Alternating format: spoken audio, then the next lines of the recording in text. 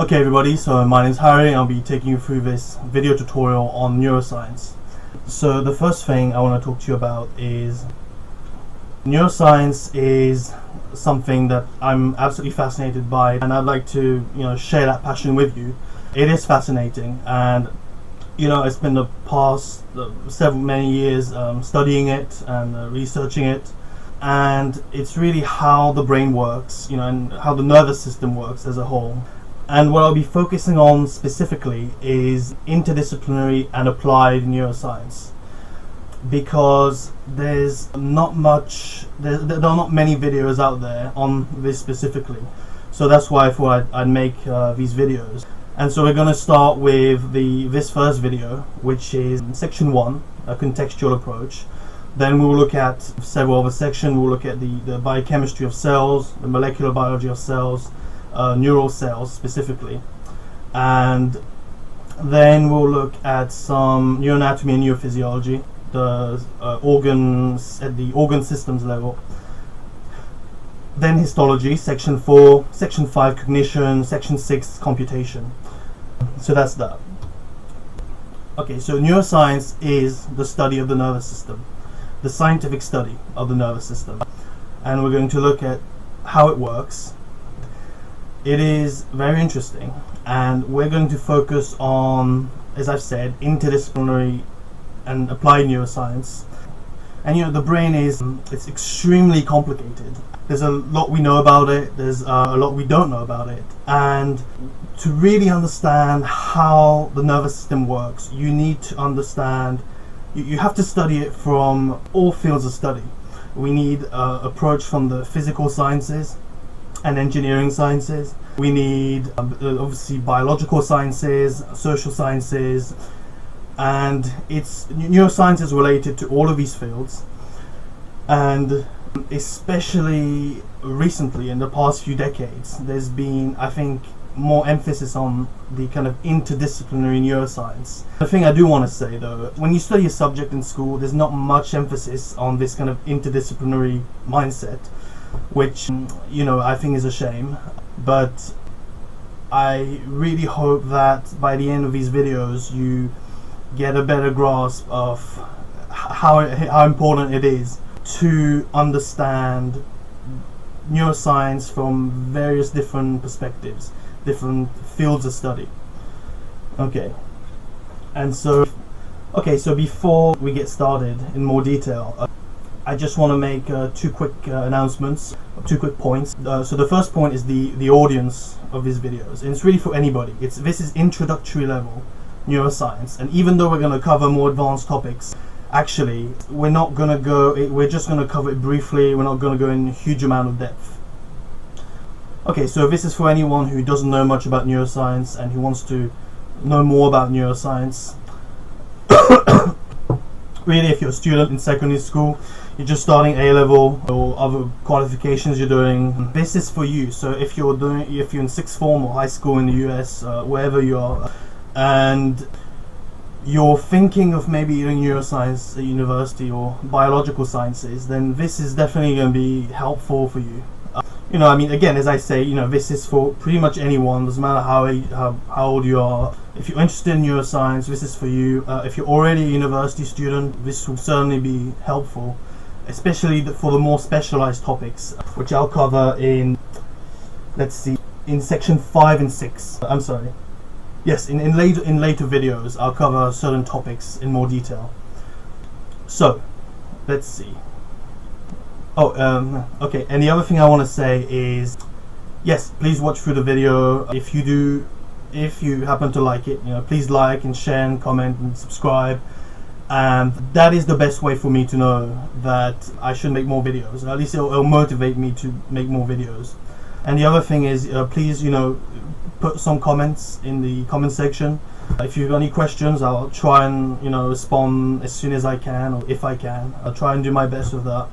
So I will reply. I'll try. If there's any errors that you, any mistakes you've spotted, because I may make mistakes, uh, let me know but I will make sure I make the corrections in the video description uh, just below also if you have any feedback you want suggestions for improvements. If there's certain things you want me to do for the next video that I didn't do in this video, you know, just let me know. And that's it pretty much. Please read the description. By the way, if uh, you want a copy of this PowerPoint, it's uh, please download it. Go into the description, go on the link, uh, download it, and you can print the PowerPoint. You can then print it out. Yeah, just do what you want with it. You know, so you have a copy that you can uh, read through in your own time. Also, if you want to know more about me, you know, just look in the description. Uh, any edits that I'll make in the description, references and other things. So that's pretty much it for, you know, the description. Okay, so now we're gonna make a proper start. Okay, so neuroscience is interlinked with every other field of study, as I said, and it's very, very interesting. And we're going to see that things are going to get more, much more complicated. We'll, start as simple, then uh, it's going to become a little bit more complex. I'll try and explain it the, the best I can. As I said, you know, neuroscience is about the nervous system. All animals have a nervous system, and what we're going to look at is uh, humans in particular. That's what I know most about. And the, the other important thing is if you do research, especially at university, you have to know about model organisms because a lot of a lot of what we know about the nervous system is you know it is based on other organisms that we study we can actually do invasive work on them so for example, you know, we have other, other apes, rodents, rats and mice, dogs, cats, birds, reptiles, and also fruit flies. Believe it or not, we do a lot of neuroscience in fruit fly. And especially rodents. I mean, that is, rodents are really studied a lot in neuroscience, especially in uh, electrophysiology. They have been studied for a long time, and they are a model organism. So there you go, we'll be talking about the nervous system. You see it at the bottom here, the nervous system. As you know, you'll be familiar with other organ systems, uh, the skeletal system, muscular system, circulatory system, endocrine system, and so on. And the thing that you should understand is that the nervous system works, you know, it is intrinsically interconnected with all the other systems for example, the muscular system or the cardiovascular system because the nervous system needs a blood supply. The endocrine system, especially, we have the respiratory system, digestive system, and so on. So it is very hard to study the nervous system uh, without the the greater context. So I just want to make that point right now. We're not going to look at all the other systems in depth. That's just something I, I really want to emphasize. Okay. And the other thing I want to talk about Is historical timelines. So I'm not going to go in much detail here. Please print the, you know, in the description, print the, the PowerPoint and have a look at it. But, you know, it is interesting and it's important to get an idea of the historical context of neuroscience. So it starts really, you know, um, say a few hundred years ago, we have basic cases in neurology. We, we understand certain brain parts are responsible for certain functions. That's what we get from uh, neuroscience, you know, two, three hundred years ago. And it gets really interesting in the early 1900s, the early 20th century. We know more about the neuron and how it works and sensory and motor systems at the same time, we have other discoveries, other world events, and I just put these here because they give. It's just I, I always find it useful to to talk about neuroscience, but also talk about other the things that are happening in the world at that same time period. It kind of gives you a context to how things work. Uh, so, for example, if we look at the 1960s and 1970s, where we had a biomolecular revolution and a technological revolution, which are not really necessarily had to do with neuroscience, but they did have an impact on neuroscience. For example, considerably better uh, processors and computer processors and microelectrodes to recall neural, cells, advances in electrophysiology. All these things are connected, and it's always helpful to see how you, you can take things which are completely not related necessarily, but I, I just find it helpful to understand the greater context of things. This is essentially what this video is about. And now, in the past 10 years, we've had some very interesting advances regeneration of neurons, uh, bionanotechnology. Uh, we can, you know, connect electromechanical limbs to the biological nervous system. Uh, it's a brain-machine interface. It's very interesting, and there's things in computational neuroscience. I'll I'll discuss this in more detail in the later videos, especially uh, I guess uh, section three onwards. And that's it. I mean, we have you know major brain projects happening in the EU and in the US. We have a connectome project, which seeks to look at all the connections in the brain, how you know they are you know kind of mapping the brain's connections through histolo- histology, through uh, computational modeling and reconstructions um, to, to functional modeling.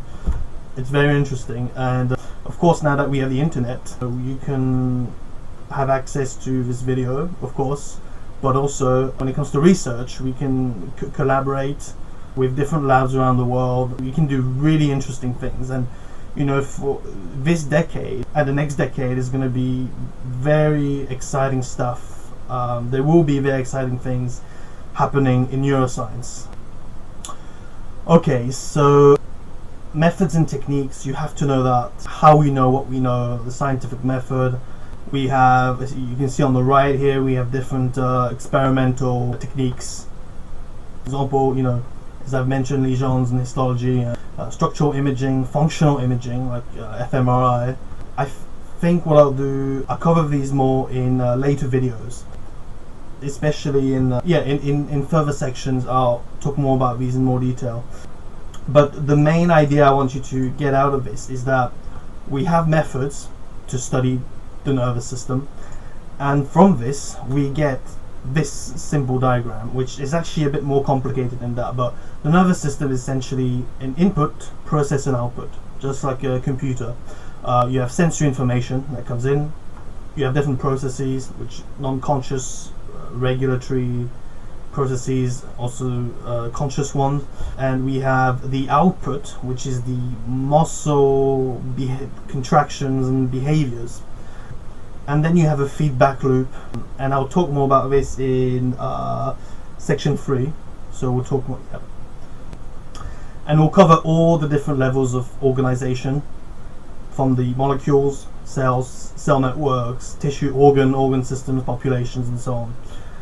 And also, what we'll go through in the next video is we'll talk about the anatomy and physiology, how structure relates to function. I mean, that is a, a fundamental principle in not just in biological sciences, in, in any science, and I don't think it's emphasized enough.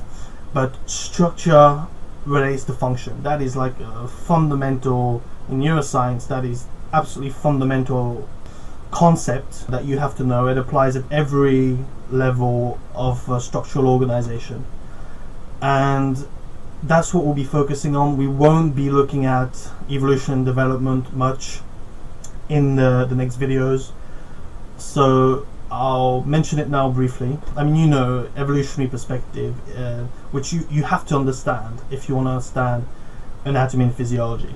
But the evolutionary perspective is really, I mean, you don't have to go back billions of years, but just millions of years and basically the, the question you should ask yourself is how does natural selection shape the functions of the nervous system the structural and, and functional functions of the nervous system that includes cognition cognitive processes and behavioral processes so you know how does these help how do these help in survival and reproduction that is, you know, and there are caveats as well. It can get a bit complicated if you study evolutionary biology or evolutionary psychology. You study this in more detail, but you know, please, uh, please print this PowerPoint and have a read of this more if you're interested. Uh, but that's all I'm going to say on evolution right now. Um, and the other thing I want to mention briefly is development. Now, you have to know that, I think. If, if you're doing A level, you have to know about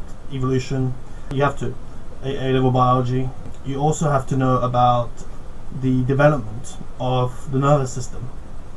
so, for example, we have the growth and the differentiation process, the differentiation of cells. You end up with you know different types of cells and neurons. Uh, that you have to know. Well, I mean, I don't know if you need to know for A level, but certainly for university, there's no doubt about that. You should know about the ectoderm, mesoderm, and endoderm. If you're interested, you know, Google it. I'm not going to say more about it. It's basically the layers from which you get all the different organ systems, which then kind of mold that that you know the, the structural the structural changes that's the development. And you go as you can see on the right here uh, we have the, the egg we have embryo fetus and so on.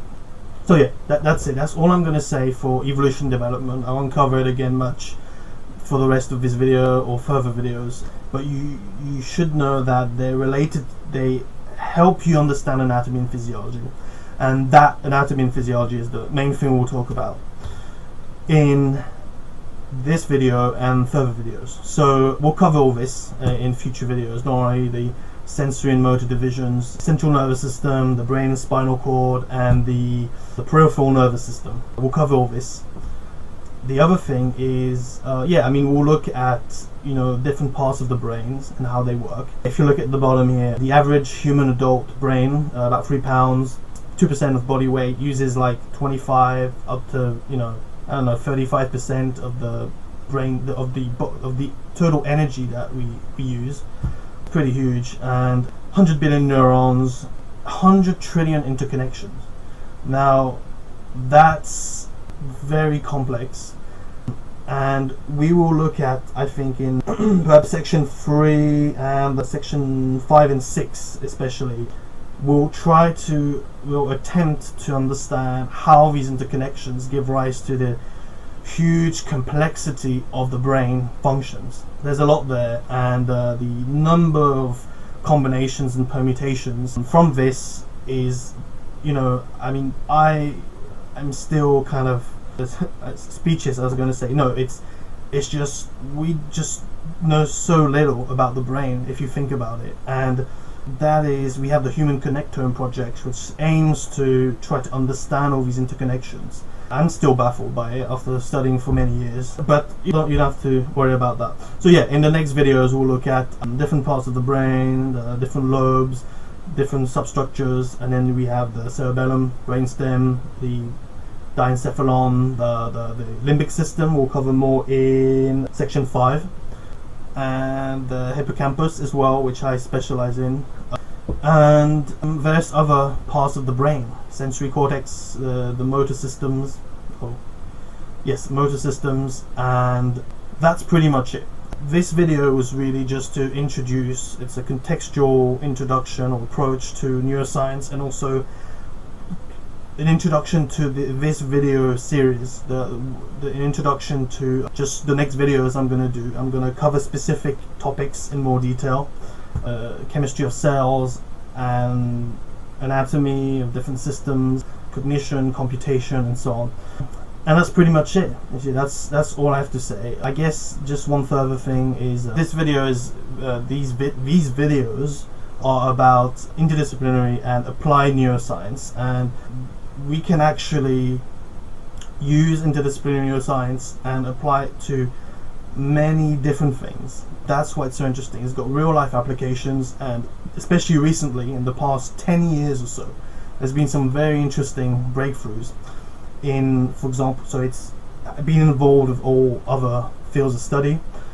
we also have developments in nanotechnology, bioengineering, we have medical breakthroughs, clinical breakthroughs, applications to medicine, it's also involved in mental health, education, we have technology, robotics, uh, something I've become more interested in, and security, uh, marketing, especially when you look at AI, uh, artificial intelligence, and finance and so on. We'll be looking at these, all of these in more detail in, in later videos. And pr that's pretty much it. Please download the link in the description, or download the, the file from the link rather, and for books, I'll probably talk you more about this at the end of the next video.